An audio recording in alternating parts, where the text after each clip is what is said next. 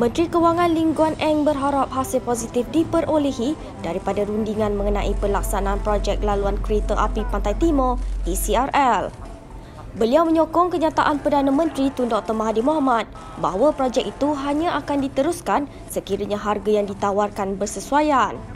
Katanya pengurangan harga penting bagi membolehkan projek itu terus dilaksanakan Malah kerajaan China sudah menawarkan pengurangan harga bagi pelaksanaan projek berkenaan.